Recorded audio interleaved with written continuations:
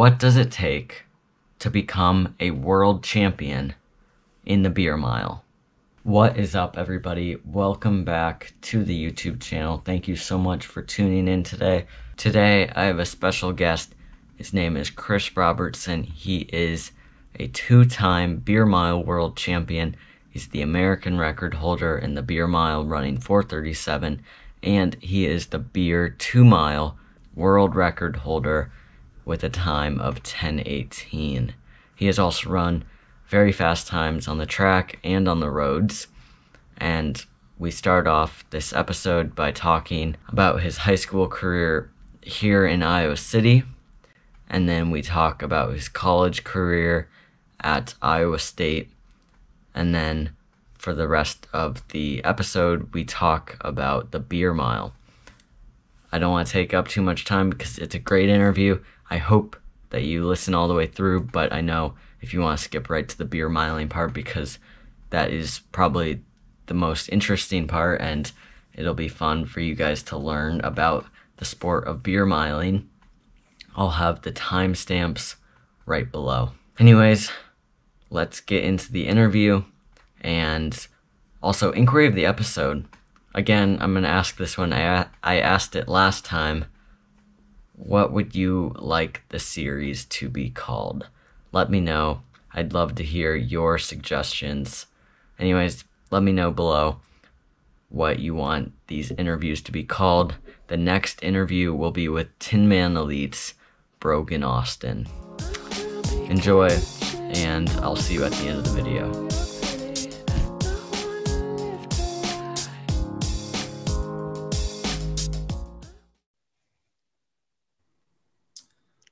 Hey, Chris. Hey, what's going on? Thanks for joining me today. Yeah, absolutely. Thanks for having me. How's my audio sound? Does it sound okay? Yeah, sounds pretty good. Are you using a microphone? Yeah, I've got a little mic here, so Yeah, and it's nice to have someone who has a podcast on because that means I'll good audio. yeah, for real. No, d- having a even a cheap mic is better than just uh, using the computer. So Yeah, definitely. So I've got a bunch of questions about high school and college, and then we'll get into the beer mile uh, later into the interview. But let's just jump right in. Cool. And when did you first start running, and what were your first impressions of the sport? I started running at a really young age. My dad uh, ran throughout his life. I guess he, he started when he was in his 20s, but uh, he ran a lot of road races around Iowa while I was growing up. And so I would always go to road races on weekends and, and watch him run, as well as running some of the like kids 50 yard dash and, and 100 meter dash and stuff like that. So, so I was definitely running in elementary school here and there. Uh, and then I would say late junior high is when I kind of really started taking it a lot more seriously. Uh, up until then, I really enjoyed basketball and soccer. Um, and I would probably have called those my favorite sports over running at the time. But then uh, everyone had growth spurts in like eighth and ninth grade, and I didn't. And so I uh, just stuck to running. And and yeah, especially in high school, is took it took it super seriously. And um, originally, I I don't think running was uh, you know something that I loved. I guess in elementary school was kind of something that I did as a part of other sports. But then really, yeah, late junior high was when I uh, started to get a lot faster and, and realized that it was pretty fun to compete and uh, see improvement over time. Yeah, definitely. So, what did your training progression in high school look like? And to all the listeners out there that did not know this, Chris and I, uh, well, Chris went to City High School here in Iowa City, and that is where I go to high school as well. Yeah, yeah, no, uh, that's awesome that uh, we we share the same high school, and I uh, it's been fun to over the years after I graduated high school to still continue to follow follow along with the cross country and track results, and uh, especially now with social media, being able to follow the team on Instagram is it makes it a lot easier to follow. So, no, it's awesome to see that a lot of the traditions are are still living on, and that uh, the team is still still big and and having fun. So, so that's excellent. I uh, in junior high. Um, I, I, was definitely a lower mileage person um, earlier on. I kind of focused more on shorter stuff, and I, I, wasn't a big fan of going on like super long runs. I was I, I, I more enjoyed just going for a couple miles and running pretty fast at a time. and and that's what I did a lot in junior high and early high school. Um, so I would say like freshman year of high school, I was probably only running maybe 30 miles a week, um, give or take, and then steady through high school. I think by senior year, I was maybe running 60 miles a week, kind of at like the peak. Not even in the season, I was probably only around 50 to 55. So definitely not a, a high mileage person at all. Um, kind of focus more on quality over quantity uh, and making sure to take easy days um, a lot shorter and easier. But but yeah, it's just pretty steady. I'd say every every year in high school, just kind of add like 10 miles uh, per week, you know, each year, and just have a nice uh, steady climb over time. And you were second place as a team at the state meet in 2008. And what yeah. were your high school PRs? Yeah, we unfortunately never won. Um, I we we had the team to win. I think both in 2008, 2009. Um, unfortunately, well, 2008 we yeah we actually had a pretty good race at state um, and got and got runner up. And in 2009 we had our best team ever, but that was the year where uh, there was swine flu, H1N1. So a lot of people were sick, um, including myself at the state meet. So my, my fastest time in cross country was 1601 for 5K um, senior year. And that was like in the middle of the season. Um, and then ended up getting sick and not being able, well, I ran reg- or uh, districts and state, but did not go well. Um, so that was unfortunate to kind of end on a bad note there from a, you know, a sickness standpoint, not getting the finish we wanted. But, uh, and then in track senior year, I ran nine, what was it? 931 for 3200 and 428 for 1600 i believe. Um, and that was a big improvement at the time. I, I, wasn't i didn't have really fast times unfortunately junior year. So like as far as trying to go to college to run i didn't really have that opportunity because i never i don't i think maybe junior year i ran right around 10 flat i believe in the 3200 so not quite where i needed to be to you know look seriously at like walking onto a D1 school or anything like that. Um, but then yeah, senior year was able to to drop a bunch of time and was pretty happy with the where the times ended up. Just unfortunately never had great placings at state uh, individually like I think I could have if I just had an A race on the right day. Yeah, the state meet is also just such a tough course with that start. You have to get out fast and yep. make that sharp turn.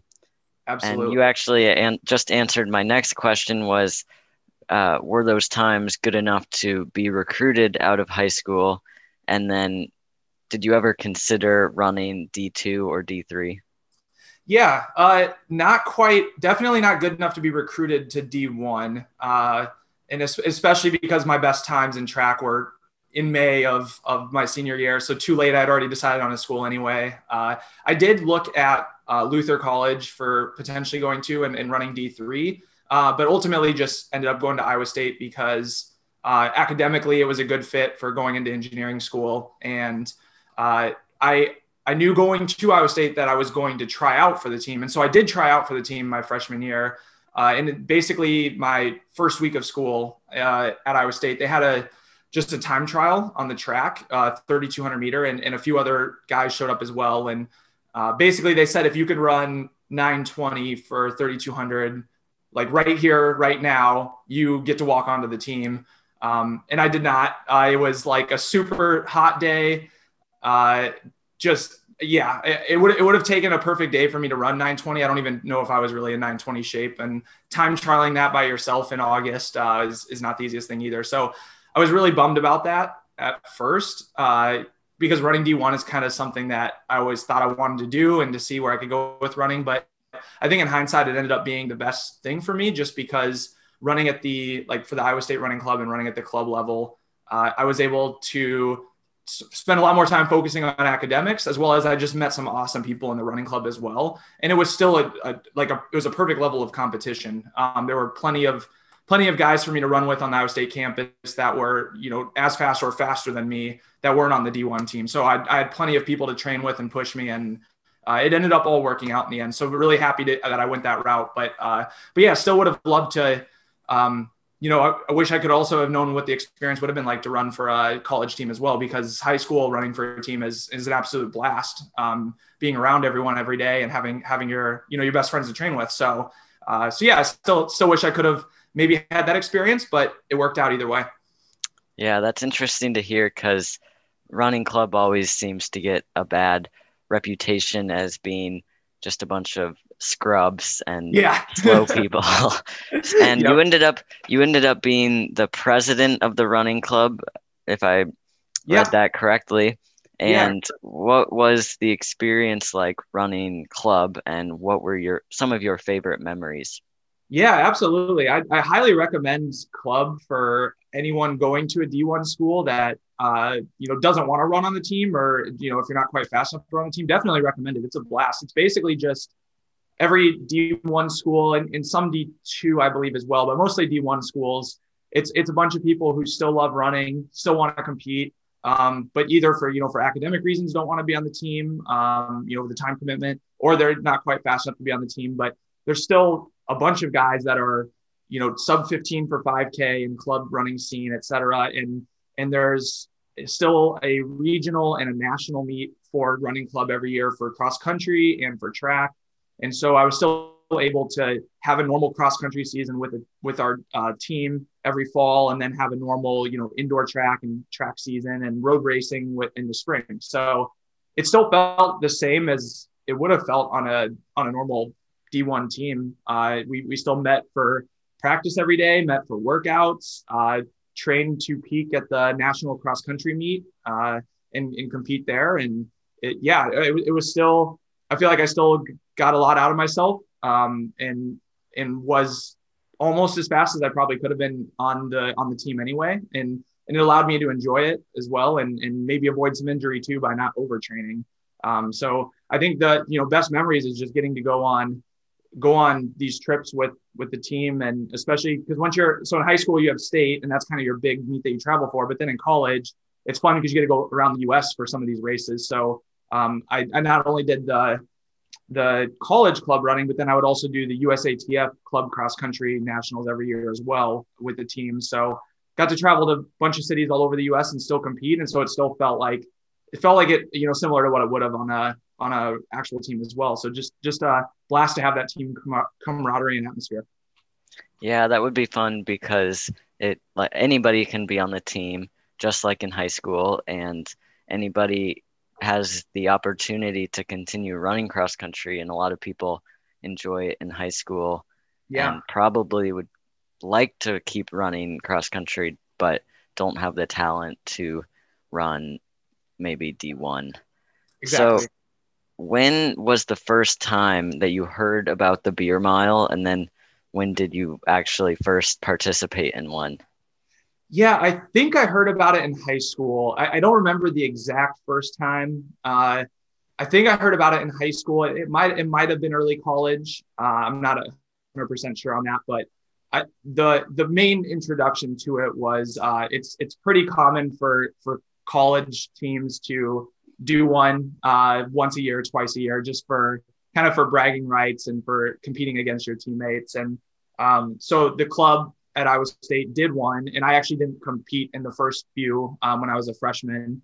Um, I, I, stayed away from drinking for a while, so absolutely did not drink in high school, did not drink beginning of college. So I don't want to put off that impression, and uh, yeah, yeah, definitely don't don't beer mile in high school. Um, so I just I watched the first couple because it was still like a crazy crazy thing, and I having not had any beer in my life at that point, other than like a couple sips to try it.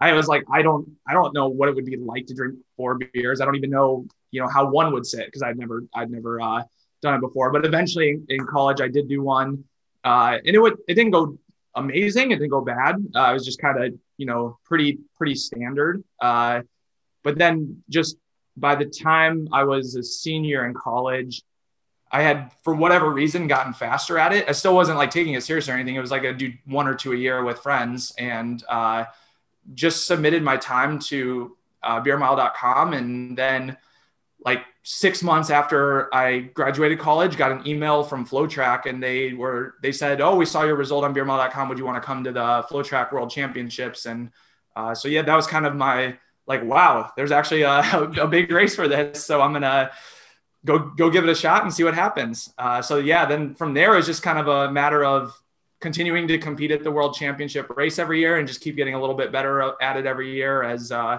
as I practice more. And yeah, that's pretty much it. It just kind of happened fluidly over time. It wasn't ever a conscious decision to to say, oh, I, I think I could be a good beer miler. It just it just kind of fell into place. Uh, and unfortunately, FloTrack just was looking at results on on the site and reached out because otherwise it would have it would have never unfolded like it did. So, could you walk us through the official beer mile rules for anyone watching that doesn't know? Yeah, absolutely. It's uh, so it's four beers and four laps around the track. Um, the the rule is the beer has to be at least five percent alcohol by volume, so you you can't do light beers, uh, and you can drink out of a bottle or a can.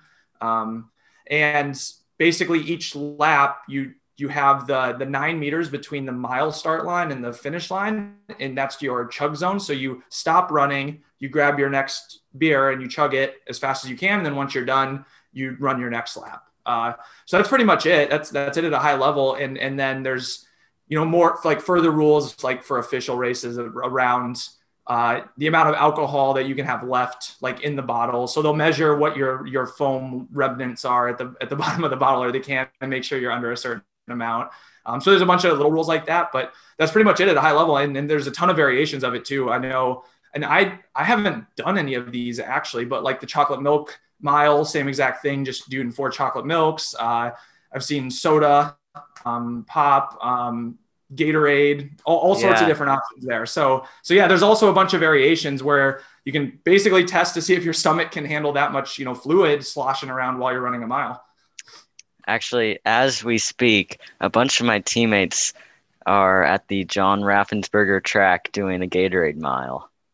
Oh, really? Okay. Yeah. That's interesting. Are they are they doing uh I hope that they're not doing like full Gatorade bottles. No, they're only doing, 12, doing 12 ounces. ounces. Okay, yeah. good. I was gonna say that's a lot. that's yeah. a lot of volume. but I was pretty surprised. Some of my teammates had been sending in videos uh, of how fast that they could chug, and they were they were doing them in six or seven seconds. Dang. So yeah, there will be some yeah. some good times then. Um, yeah, I'm curious to hear how everyone does. So you have run 413 in the mile, 1444 in the 5K, 108 in the half marathon, and 224 in the marathon. What non beer related running achievement are you most proud of, and which do you feel is your strongest event? Yeah, that's a great question. I I think I've been pretty I don't know. I, I think I'm pretty equivalent across the spectrum to some extent. If anything, I would say, like from a PR standpoint, my half marathon and marathon are the weakest just because the half marathon is very stale at this point. I haven't really peaked for a half marathon in a couple years. And, and also in my last marathon, I almost ran as fast as my half marathon PR as a split. So, so I think that one for sure I want to take down. And then the marathon um, was last fall trying to go for the Olympic trials qualifying time and was on on 218 pace through 20 miles and just absolutely blew up. So so it it looks like 224 on paper is very disappointing to see just considering it's I was like so, so on the right day could have potentially even run you know 218 or 219. Um, so I think those two PRs I, I, have a lot of room for improvement on uh, and and hopefully we'll give those a go. Uh, like a year from now, next fall, if if marathons are on again, I, I would love to try to get take another shot at qualifying for the Olympic trials. Uh, but really, from uh, just like a fun standpoint, I much prefer the shorter races. I really like racing the mile. Uh, I really like 5K. I really like doing track stuff, um, especially because track was something I wasn't as good at in high school as cross country. I I felt like I was just not. I didn't have a lot of speed. Like a raw 400, I wasn't very fast at. Um, I was definitely a strength runner, so now after uh, in college and then also after college, I I focused a lot more on uh, build like speed and sprinting and uh, lifting weights to to build more strength and power. And now that I can actually run decently fast, um, fast at least compared to what I, I used to be able to run for 100 meters, 200 meters, 400 meters. Now that I can do that, then the track is a lot more fun, and, and it's a lot more fun to be able to see how fast I can run a mile. Um, so yeah, I don't know. Going forward, I think I'll still continue to do a, a mix of everything from from mile to marathon. Um, I'm I'm even planning for 2021 to uh, sign up for the Pikes Peak Marathon and try my hand at a, a, a mountain race and see how that goes. Uh, because I've spent a spent some time hiking and doing some runs in the mountains on vacations in the past, and I, my body seems to respond pretty well to it. So I'm just kind of curious what I could do for that as well. So I think I'll be trying everything next year. Uh, hopefully, I mean, assuming there are races, but if there aren't time trials, and I'll probably try everything from mile up to to mountain running and see, just kind of keep keep seeing where my strengths are. Yeah, that'd be really interesting to see you run the Pikes Peak Marathon. That's a tough course too. Absolutely. Plus, you got to get good at downhill running. Yeah, be, and, that and would I be think challenging. that might be. Oh yeah, I, I think that might be my stronger suit over climbing just naturally. But but either way, that's going to be the week after that race. I'm going to be so sore. Running downhill is just going to that'll destroy my quads and, and calves and everything. So that, I'm not looking forward to that part of it. So you compete for Team USA Beer Mile, the Team USA Beer Mile team. And is there really a team aspect of that, or is it just people showing up? And if there is a team aspect, what is that compared to high school and club? Yeah, there's not really a team aspect, unfortunately. It's really uh, basically each summer ahead of the World Championship race, uh, everyone, uh, you know, does it does a beer mile wherever they're at in the U.S. and submits their time, their video, et cetera. And it's really just a matter of picking, you know, who are the top five uh, guys and, and, girls that are uh, looking to be the fastest for this year's World Championship. So I'm the only person in in Chicago that uh, has ever you know been on the team for that. It, it's mostly a lot of people are actually in California. Um, so no, there's not really a team aspect. It, it, other than at the race itself and and go going to the race, it is a team competition as well as an individual. So there still is the uh, the scoring, you know, country versus country. So in that sense, yeah, when we're when we're at the meet, you know, it's we're we're you know warming up together, uh, you know, strategizing together, all of that sort of stuff. But uh, but no, out, outside of the event itself, there's not unfortunately not a not really a team atmosphere on that uh, for the beer mile at all. It's it's a very individual sport still. So how does one train for the beer mile? For at this point, it's really just training for the mile. Uh, I I only do a couple beer miles a year. I don't I don't do a lot of them. I'm not I'm not uh, drinking every day of the week. Believe me, um, because at this point, now that I've done it enough, I, I can pretty much you know drink anything out of a bottle as fast as it'll come out. You know whether that's water, beer, whatever whatever it is. So I can't really get any faster at at drinking. So it's just a matter of can I run faster, and that's the difference between me and and the world record holder is that the world record holder is a 357 miler and I'm you know 15 seconds slower. So that's where I just I just need to train for the mile and continue continue to get faster. Hopefully shave off a few seconds and uh, my splits for the the chugging part are slightly faster than his. So if I can just get a little bit closer in the mile, then uh, potentially could have a shot at at racing him and potentially getting a world record. But um, I, th- I think that would be something I'd try to shoot for again in the spring. But yeah, no, nothing. There's nothing uh, special to the beer. Once you have the chugging technique down, once you have that uh, and kind of just unlock, then it's a matter of just getting as fast as you can and training for the mile. Speaking of the chugging, is there a science to pouring the beer efficiently out of the bottle? There kind of is, yes. If you want to, so the, the goal is to not get too much carbonation. If you just take a, like a bottle or a can and just put it like vertical to pour it out, it'll like the air bubbles will go up, so it'll like glug, glug, glug, and that'll create uh, the all the excess foam and carbonation. And so ideally, you kind of want to keep the bottle as parallel to the ground as possible to start, um, and then like slowly tilt it back. Um, so that way, there's always like a slight air pocket uh, towards the neck of the bottle, like going down to the the main part of the bottle. Um, and if you do that, then there there will pretty much be no foam that gets created as a part of it, and so your stomach then isn't doesn't have so much carbonation in it, and it's not uh, so upset. As well as then you don't risk getting disqualified for having the extra extra beer in the bottle at the end. So so yeah, it's just keeping it keeping it kind of parallel with the ground to start, and then just like slowly raising it as the as the liquid's emptying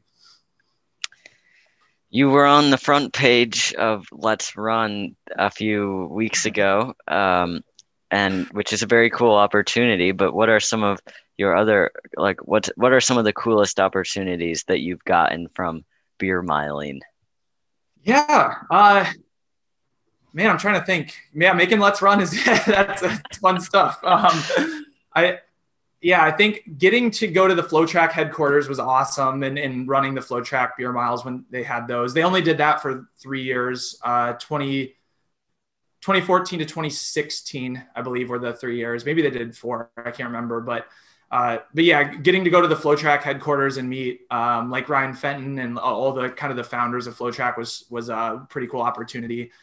Um, I mean, meeting like Nick Symmonds, for example, I met met or we, we know of each other. We don't like, know each other personally, but know of each other through the beer mile, basically leading into one of the FloTrack meets. He uh, sent, you know, run gum, like free run gum samples and a run gum hat to all the people that would be competing to help, you know, uh, advertise for him and, and stuff like that. So, so definitely the people I've gotten to meet is, is probably the, the biggest, uh, the biggest bonus of it all and, and getting to travel internationally and meet meet other runners from other countries and spend time with them and and uh, compete with them. That's that's I think that's probably been the the the biggest thing. Um, got and getting to do uh, podcasts uh, and, and, shows and stuff like this is also a blast yeah. too. I, uh, I've done I've done a few now. Still not a lot, but uh, I think uh, the plan is to hopefully do uh, Citius Mag this week as well, which that'll be a, a fun one to be on. I think and yeah, I don't know. Hopefully from here, I, I, just would love to continue to get to meet more and more pro runners and, and talk to them and hear their story and kind of like,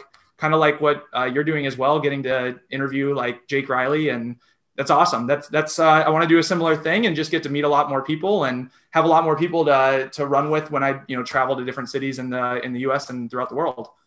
Yeah, it was cool to see your interview yesterday with Nick Symmonds. Honestly, that was probably like one of the best running interviews that I've seen in a really long time. So I was fully engaged. It was really interesting. And I'm sure that when you first started beer miling, you did not expect to get to go to the get to go to Europe to compete. Yeah. Yeah, absolutely not. No, I did I did not think that would uh that would ever be a thing. So it's yeah, it's been a great uh, a great blessing that I wasn't expecting to have. So you were the 2017 and 2020 beer mile champion. What did it take to win those races? And describe the days leading up to the races, the emotions before, after, during, and lastly, what is your beer mile strategy? Yeah, the both. It's yeah, it's been it's been awesome to win both times. Uh, the the it, it's really a battle. Um, I, I, will say that the two years that I won, um, the current world record holder was not at those races, so that definitely you know helped helped out a little bit with having an advantage there. Um, but yeah, in 2017 in London, uh, I that was the first. I guess that was that was the first time I felt like pretty confident. I guess going in uh, that that was basically my third year competing. And the years before that, I still kind of felt like a newbie. Like I didn't really know, I didn't really know all the technique stuff. I didn't have the chugging down. I so I wasn't ever going in there saying like, man, I have a shot at winning this. I, was really just you know going in there, just kind of doing what I could and, and seeing how it turned out. And so, yeah, 2017 in London was was uh, that first time where I went in like, man, I, I should win this if I do everything right. And uh, I I remember that specifically that week not feeling the best. I'd probably just jet lag and, and whatnot for flying flying over to london a couple days before the race and, and everything but but yeah it, it kind of just like racing i mean racing anything when you're having those good races you're just in that that kind of that flow state and you're not really thinking about anything you're just getting the most out of yourself and so there wasn't really anything that i remember that i was like conscious of during the race or like thinking about it was just just kind of letting it happen uh, and and so yeah, that was having that first victory there. Um, even though it wasn't even my PR or anything, but just having that that first uh, you know good like actual race setting under my belt was was awesome. And then going in after that, it was always like I expected to be close to the front or or trying to win. So just kind of changes the mindset and a new level of confidence. And so this year in 2020 was really interesting, just being being a virtual race and you essentially had one week to do unlimited attempts. You could do as many attempts you wanted to and just submit your fastest one. And so I, figured I might as well try it, make roughly every other day, similar to if you have a track track meets or something, and it's like you race a mile one day, and maybe two days later you're racing another mile. I kind of figured if I'm only doing a mile at a time, I can probably swing every other day and not be you know too sore and and everything like that. So. Uh, so yeah, I did three of them, and just so happened the third one was the best. Uh, and it was just it's just such a weird feeling not basically doing a time trial by yourself and having someone there watching and filming but not having anyone to compete against it. It's a whole different level. It, it, there was a lot less i guess a lot less nerves and, and pressure and all that sort of stuff because i'm just running against myself. Um, but at the same time i miss the i miss the competitive atmosphere and the nerves and, and all of that i think it helps you race a lot faster than you than you would by yourself at least it does for me so uh, but but yeah it was it was also nerve wracking too for 2020 because you we all submitted our times, but they didn't tell us who won until like the day they were releasing the race. Um, so there was the whole like week period where the, the race directors knew the results, but they just weren't telling anybody. So it's just it was kind of crazy to like have done the race and feel really good about it. Like, oh, I set a big PR, but no idea if that is going to be good enough or like if I should have tried again or it, it's a weird, it's a very weird uh, setup. And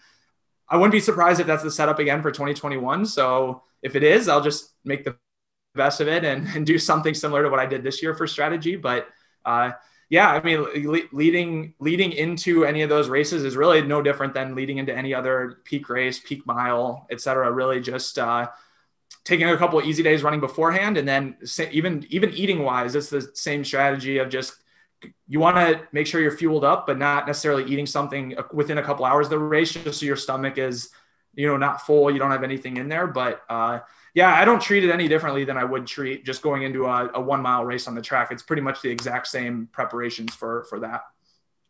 Yeah, I remember watching this year's virtual race, and first of all, the announcers were pretty funny. They were. Uh, you were racing on a track that was very busy, and I remember you were coming around maybe like the third lap, and there was a scooter in lane one or something like that, and you were very close to tripping over a soccer ball at one point. what was this like? What what was going in your head during that race?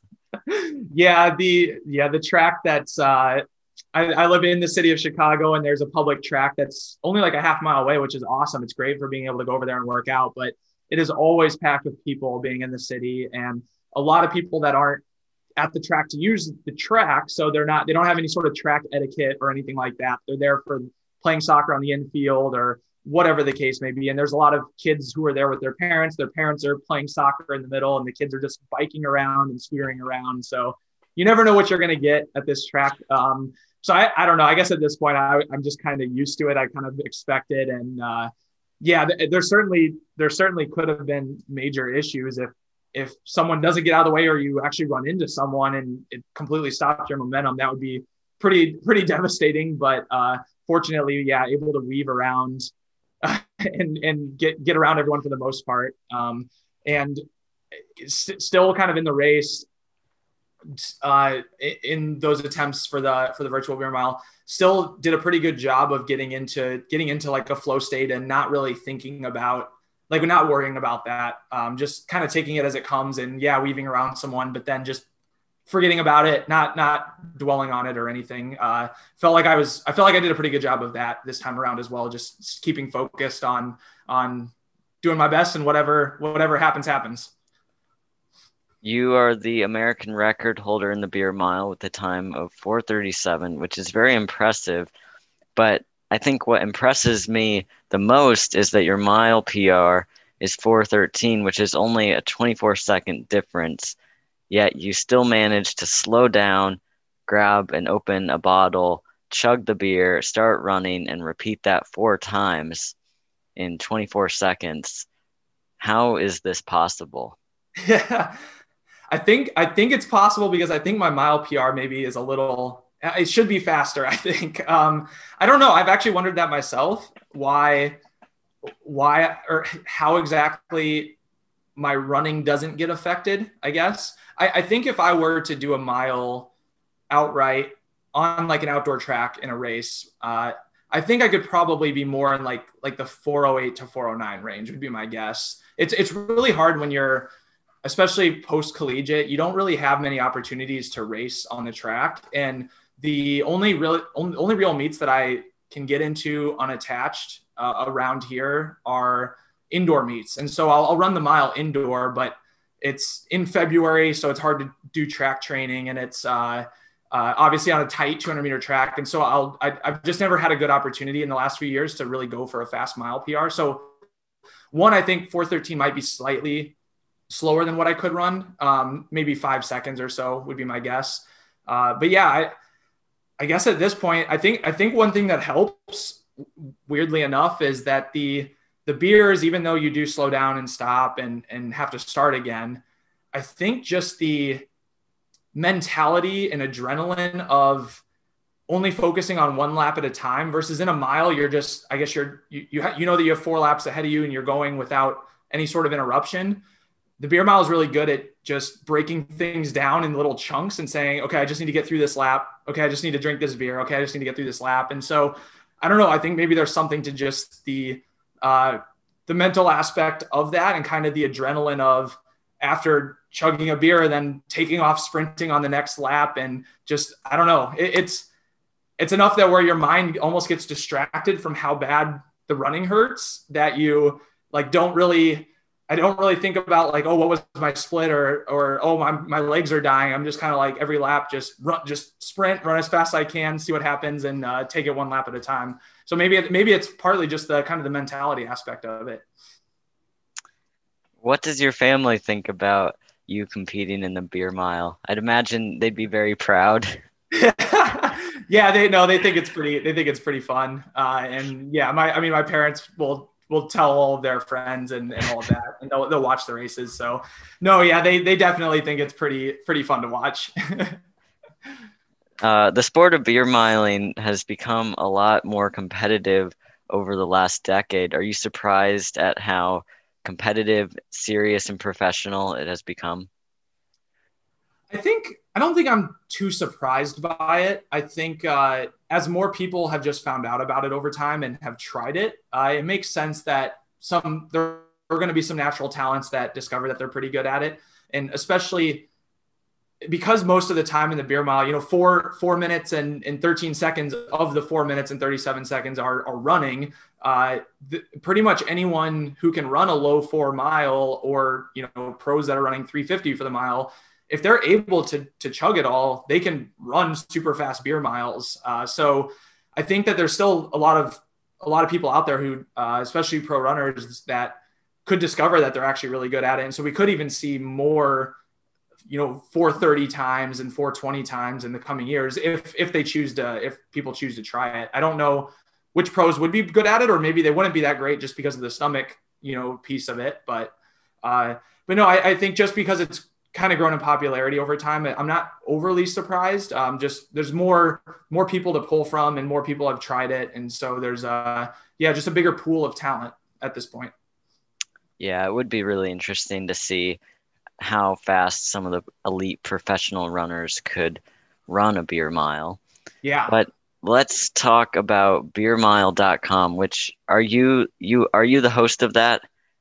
Yeah, so that's a recent thing actually. Uh, beermile.com was founded in the 90s and just uh, a little over a month ago now uh, a friend and i basically decided to, to, to purchase it. We've been talking to the, the founder of it and he's kind of operated it all these years but he doesn't really have a whole lot of time to dedicate to it and updating it etc uh, because he has other jobs and projects and children and, and everything else. So uh, he was kind of looking for someone to, to buy it and revamp it and everything. So we decided to, to, to buy it from him. And, and yeah, that's the, the plan is to uh, basically give it a complete refresh look, add a lot of new uh, like features and capabilities on there. Things like, um, like at the core, it'll still be, you know, seeing records, seeing results and all that, but having a lot more kind of like a newsfeed style, similar to like an Instagram or Twitter, where you can see recent beer mile results that have been posted and watch the videos for it. You can vote on you know whether you think it was like official and legit or not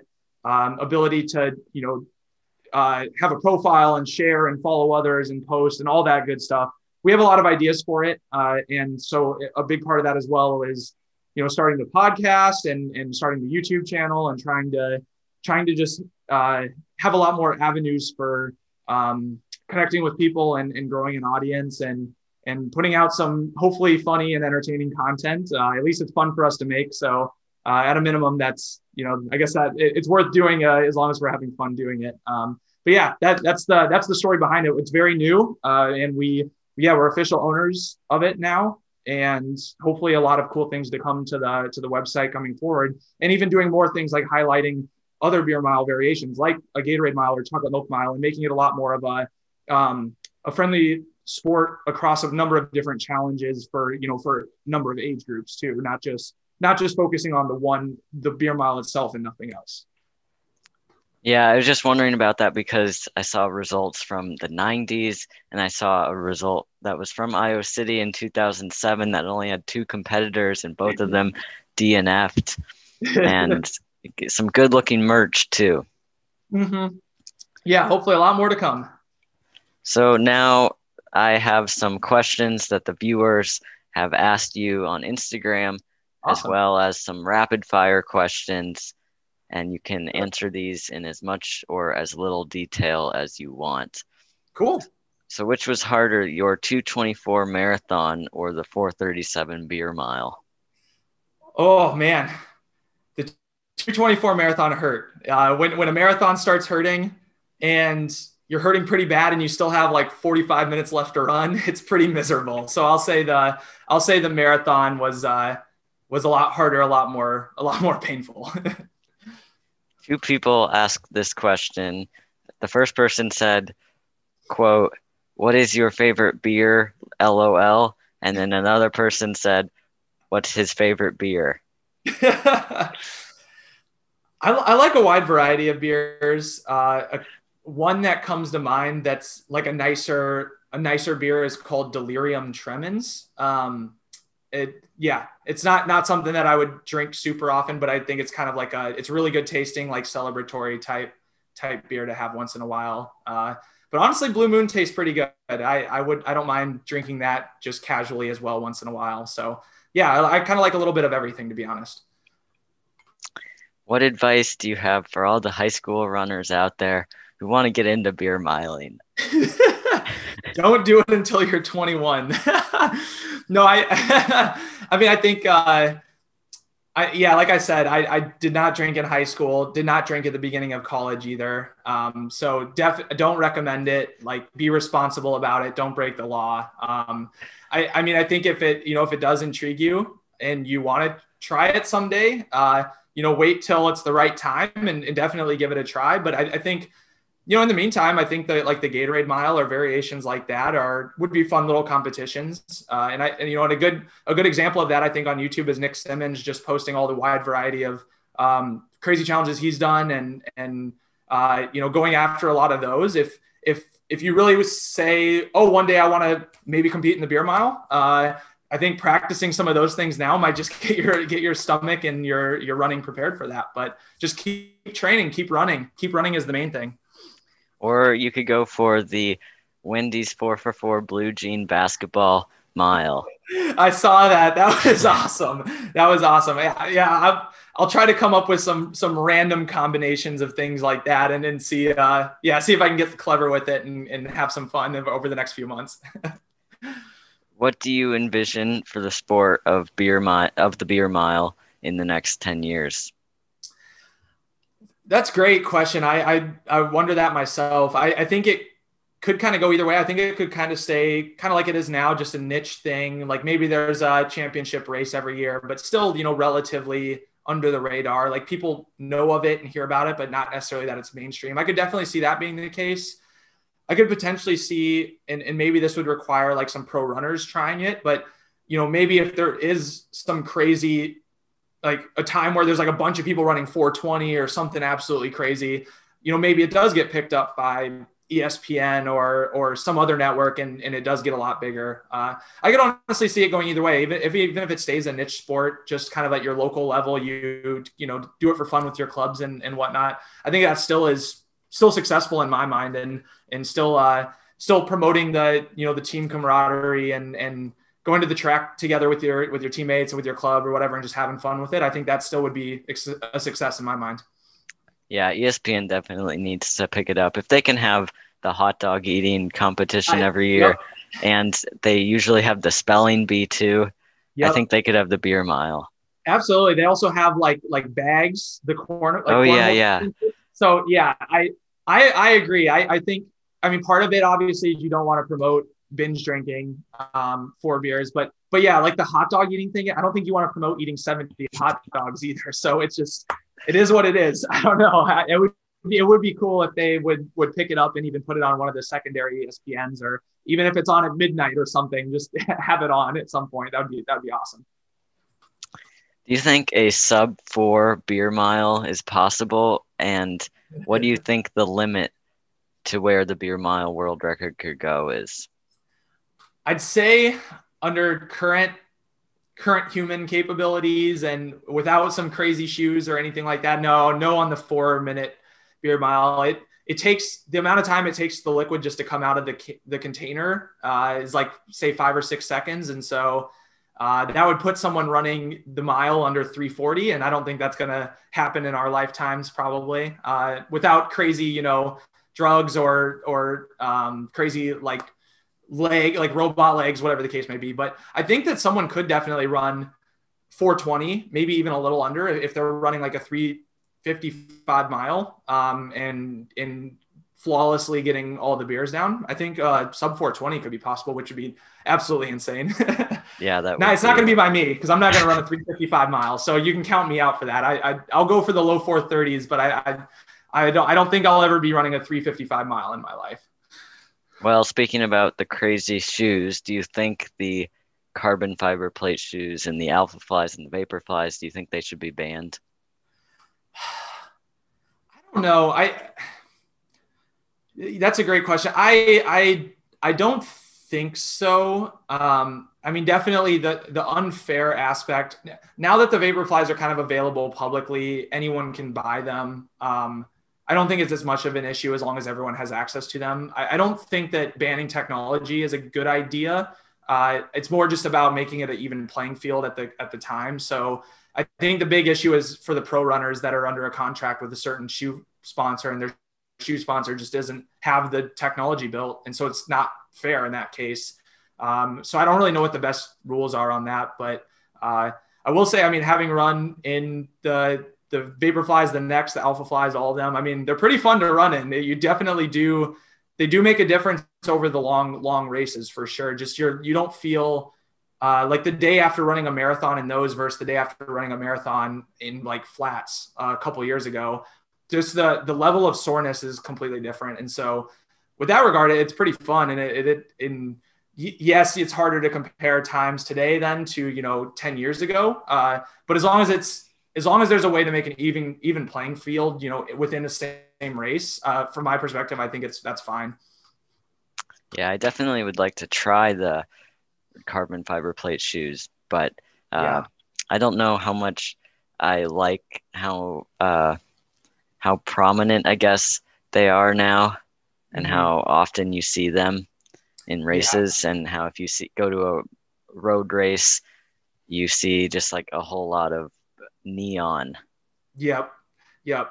I yeah, it especially especially if you don't have them, it's it's almost like you have to have them to in order to like compete now, which is yeah, it is kind of a bummer. Um, I guess that's the good thing about cross country and track is uh, it's they're not really as well. Obviously, in cross country, they're not prominent on the track. I don't think they're. I think the spikes are still still faster option there. Um, so at least for those at this point, uh, it's it's a little bit more even of a playing field. But uh, yeah, it, it's they're crazy crazy shoes for sure. Um, they're they're not something I would recommend training in very often, just because you because they take so much of the force off your lower legs and and everything. It's almost like you're not training to the level you should be because they're doing doing some of the work for you, and it's just not as natural of a running gait as uh, as you would if you were running barefoot. And so I, I don't, I tried to very rarely, I'll wear them for like a workout, a big workout, like once in a while in, in a big training cycle, but I try to avoid them as much as possible and just kind of wear standard shoes to, to make sure that my, you know, my legs still actually know how to run fast on their own without the shoes. what do you do and what do you like to do besides running and running with beer? Yeah. Oh man, a lot of stuff. Um, I so I, I love making videos. That's actually something I did a lot growing up as well in, in high school. Um, and kind of didn't do it as much looking back as much as I should have in in college and after college. And so now it's been a lot of fun to get back into that and uh, and you know, I I, I think I you submitted. You, do they still have the film festival at City High? Yes, they do. Yeah, yeah. So I I did that like in at City High and and submitted stuff to the film festival, and I, that was an absolute blast. So um so making videos super fun. Uh, unfortunately, I spend most of my time working on my my actual job. So. Uh, so that's definitely takes up the majority of my time. Um, definitely work a lot, but but enjoy what I do there.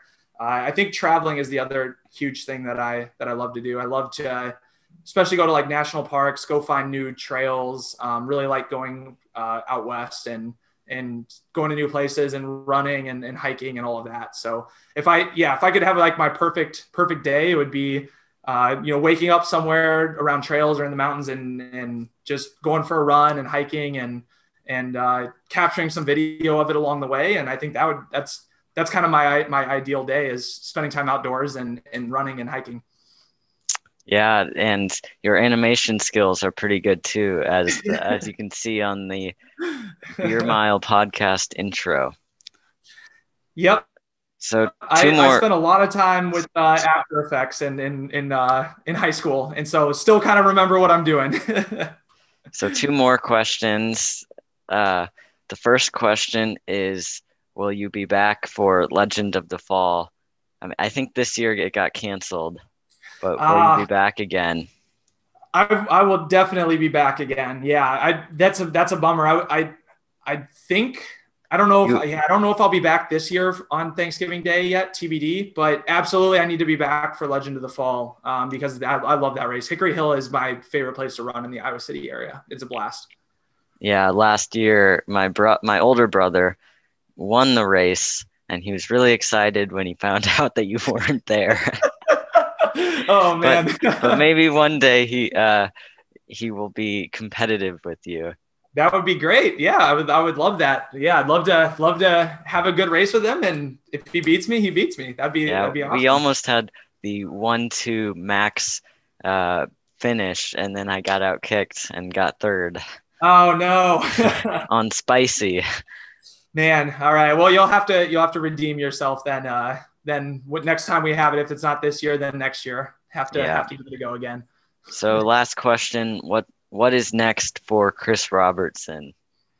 Yeah, uh, hopefully ma- making a bunch of hopefully entertaining and stupid videos. Hopefully interviewing uh, some cool pro runners. Uh, that that's kind of the the non-running, the creative side of things, and then from a running standpoint, really don't know. I don't know what races will happen, if any will happen, and so probably I'll just try to get some good base mileage in this winter. Maybe do some some time trials and like 5K, 10K in the spring uh, if there aren't races, and then yeah, next summer I think I'm going to try to spend as much time uh, training for Pikes Peak Marathon as possible. So and and as well as I'll, I'll obviously do the beer mile again next summer too, whenever, whenever that is, and whether it's virtual or not. But but yeah, I got some time now. Got a few a few months of no plans, and hopefully just running some good mileage, staying healthy, and and getting getting the base there for for whenever I need to start training seriously and doing doing more workouts again.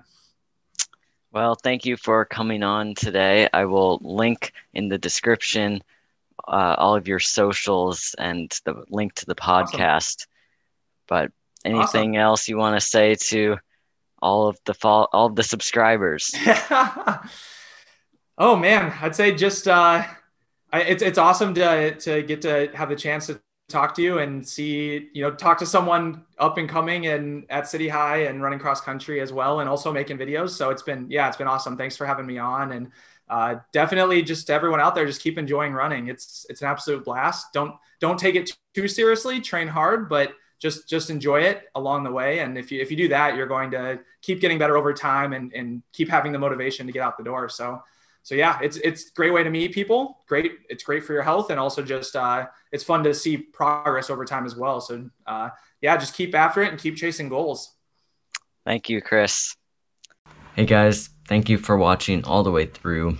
I hope you enjoyed. I thought it was super interesting, and thank you so much, Chris, for joining me on the channel. It was a lot of fun, and I had a great time, some good laughs, and I hope that you guys all enjoyed it as much as I did. Again, let me know below what you want the series to be called, and I will seriously consider your suggestion. As always, thank you for Todd Father because Todd Father helped me get some stuff set up.